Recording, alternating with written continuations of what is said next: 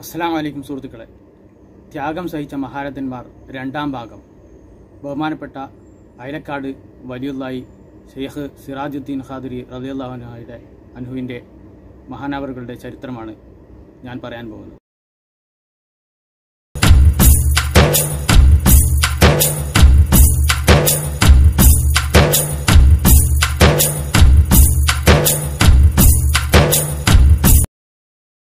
ആയിരത്തി തൊള്ളായിരത്തി എൺപത്തേഴിലെ ഒരു സഫർ മാസം പുറത്തൂർ പള്ളിയിൽ അറുപതോളം കുട്ടികളുടെ വലിയ ദർസ്. ബാപ്പുട്ടി താരിമി ഉസ്താദാണ് മുദ്രിസ്. അവിടെ തന്നെ സദർ മാലിമായി നീലിയാട് കുഞ്ഞിമറയ്ക്കാർ മുസ്ലിയാരുടെ കീഴിൽ മുപ്പത്തി അഞ്ചിലധികം മാലിമുകളുള്ള വലിയ മദ്രസ. ഇടവിട്ട ദിവസങ്ങളിലെല്ലാം ദാരിമി ഉസ്താദിന് മതപ്രഭാഷണം ഉണ്ടാകും വഹാബിസത്തെ പൊരിച്ച് കയ്യിൽ കൊടുക്കുന്ന വിമർശന വേദികൾ ഖണ്ഡന പ്രവാസന സദസ്സുകളിൽ ആയിരങ്ങൾ നിറയുന്ന കാലം. മഹലിലെ തൊണ്ണൂറ് ശതമാനം വരുന്ന മുസ്ലിങ്ങൾക്കും ബഹുമാന്യനും സംതൃപ്തനുമായ മുദ്രിസാണ് മഹാനവറുകൾ. ഏറെ ഇഷ്ടപ്പെട്ട ദർസാണ്. സ്വന്തം മക്കളെക്കാൾ സ്നേഹിക്കുന്ന വിദ്യാർത്ഥികളും ഇതെല്ലാം അവിടെയുള്ള ചില ആളുകൾക്ക് അങ്ങനെയുണ്ടല്ലോ ചില ആളുകൾ ഒരു നല്ല നിലയിൽ പോകുന്ന ഏത് കാര്യത്തിലും ചില ആളുകൾക്ക് ശത്രുത ഉണ്ടാവും അങ്ങനെയുള്ള ചില ഉൽപ്പതിഷ്ണുകളായ ചില ആളുകൾക്ക് ഇത് ദഹിക്കാതായി. അവർക്ക് പറഞ്ഞറിയിക്കാൻ പറ്റാത്ത വല്ലാത്ത ദേഷ്യം.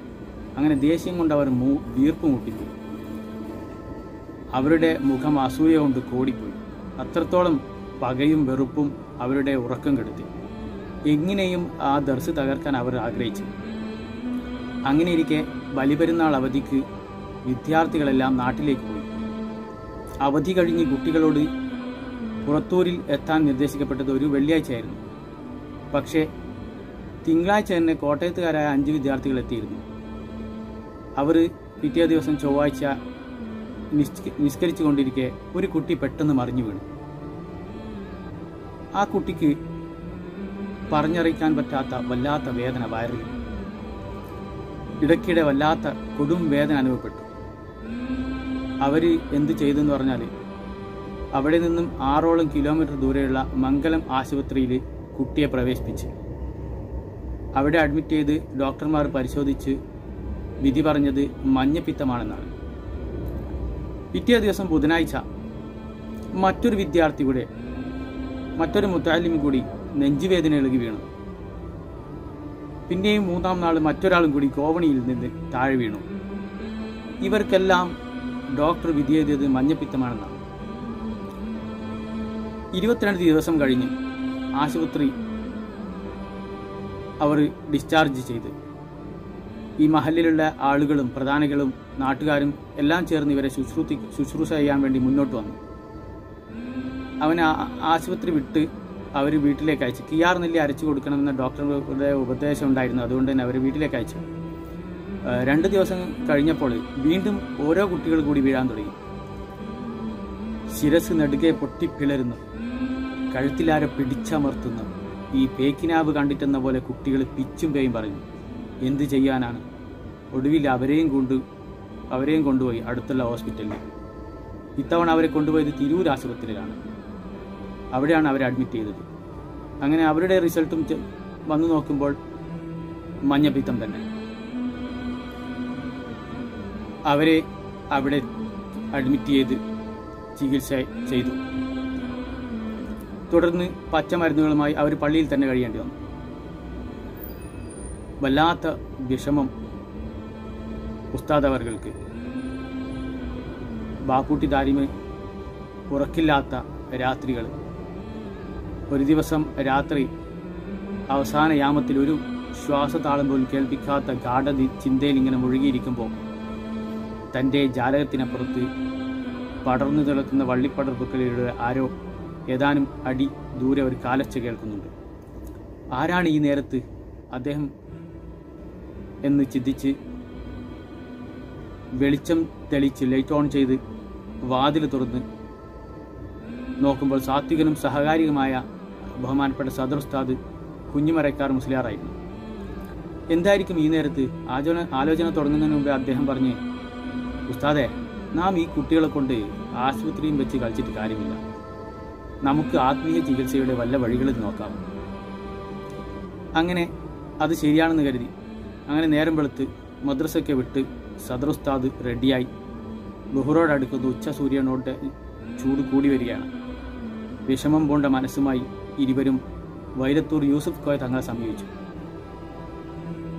ഇവർ രണ്ടുപേരും കാര്യങ്ങൾ വിശദമായി ധരിപ്പിച്ച് മഹാനവറുകളെ. സാക്കൂത്തുമെല്ലാം കു- കേട്ട് തങ്ങൾ പറഞ്ഞു കുട്ടികളെ ആരെയും നാട്ടിൽ പറഞ്ഞേക്കരുത് പറഞ്ഞയച്ചാൽ ഒടുവിൽ നിങ്ങളുടെ ദർശില്ലാതാകും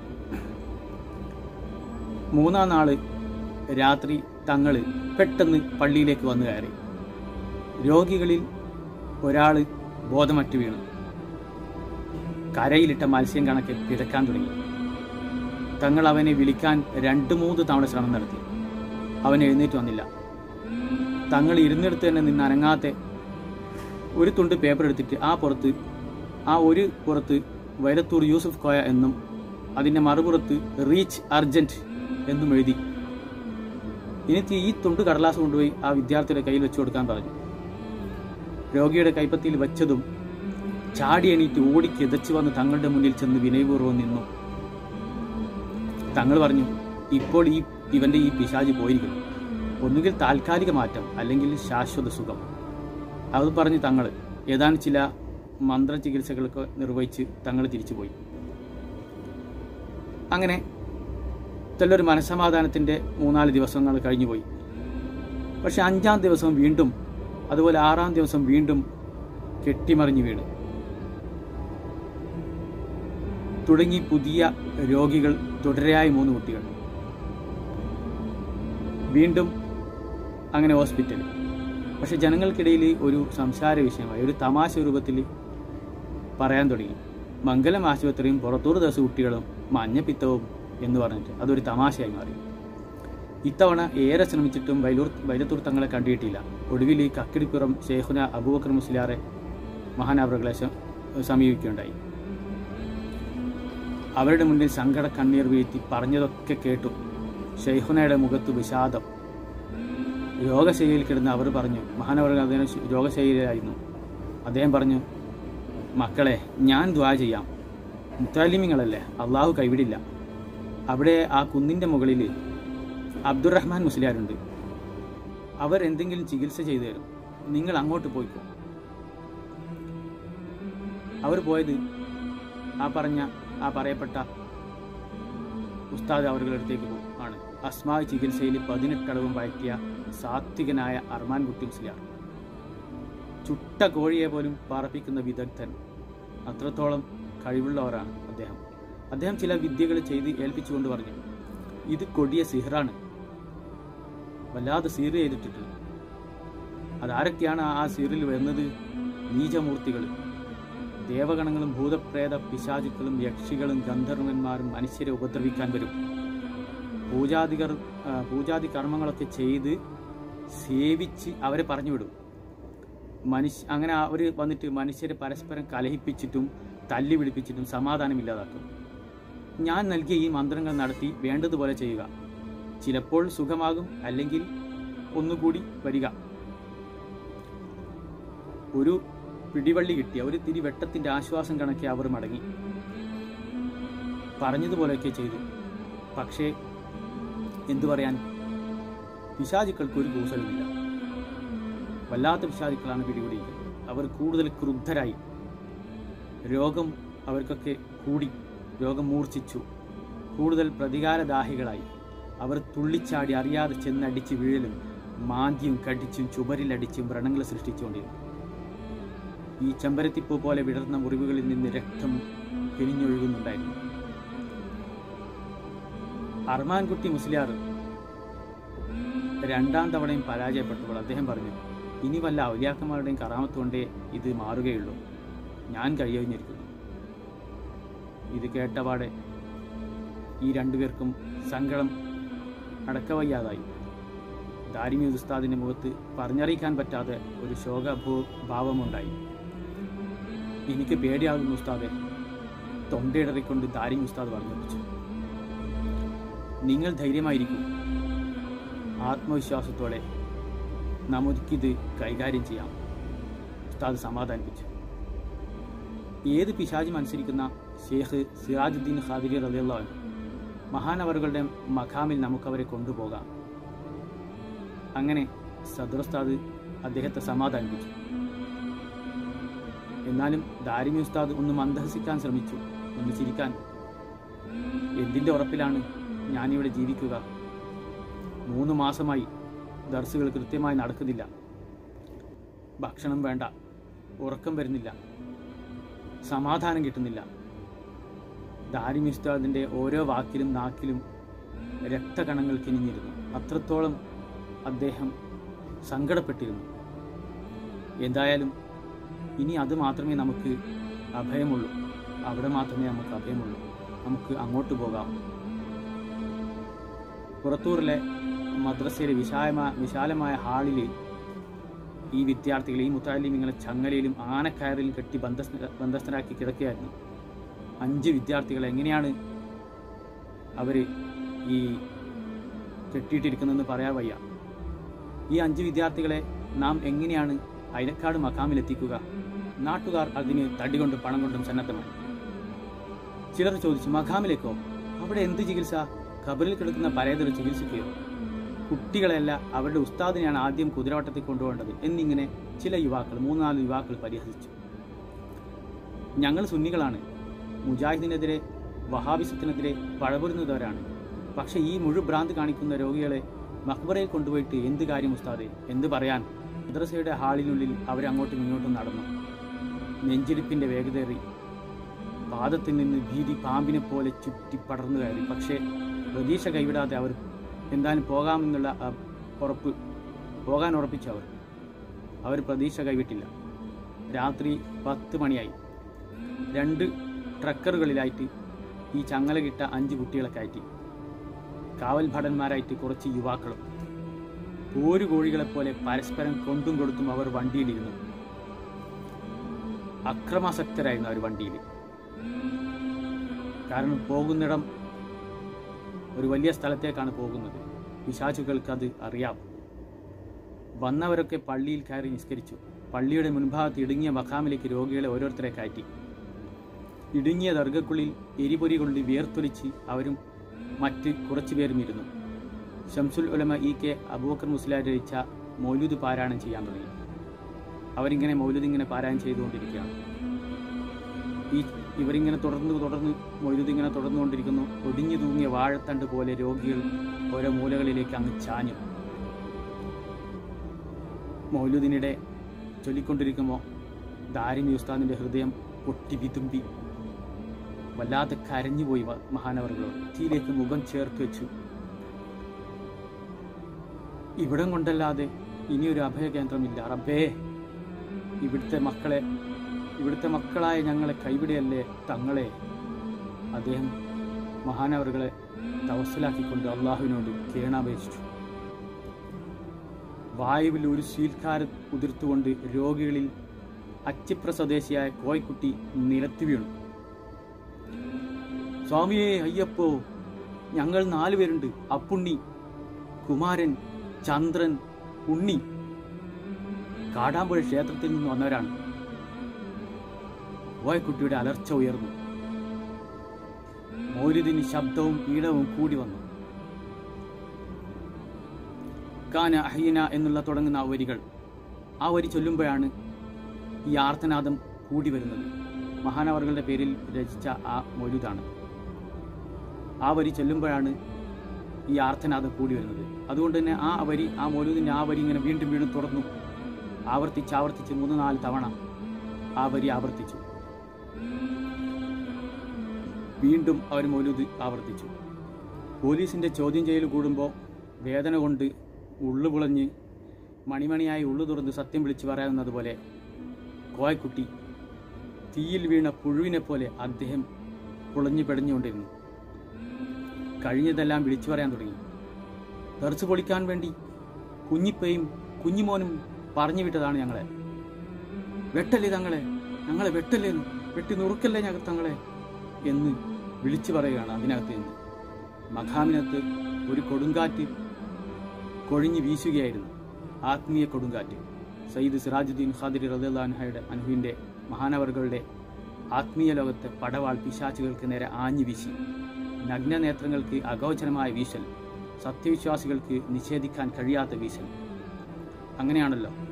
മഹാന്മാർ പരലോകത്തായാലും ഇഹലോകത്തായാലും സഹായത്തിനെത്തുക.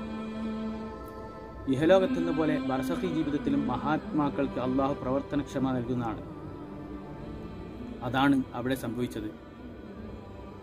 അവർ കാണുകയാണ് ശൂലമുനയിൽ പിടഞ്ഞു പിശാചുക്കൾ തുണ്ടമായപ്പോൾ വിദ്യാർത്ഥികൾ അഞ്ചു പേരും ഉണക്ക വിറക് ഒടിയുന്ന പോലെ ശബ്ദത്തിൽ തല തല്ലിയടി തല്ലി അല- അലച്ച് വീണ്. അല്പസമയം അവർ കൂർക്കം വലിച്ചു തുടങ്ങി പെട്ടെന്ന് സ്വപ്നം കണ്ട് എഴുന്നേറ്റ പോലെ അവരുണർന്നു. നിറഞ്ഞ കണ്ണുകളോടെ അവർ കൂടെയുള്ളവരെ നോക്കി. പാമ്പ് പടമുരിയും പോലെ അവർക്ക് പുതുജന്മം കൈവന്നിരിക്കുന്നു.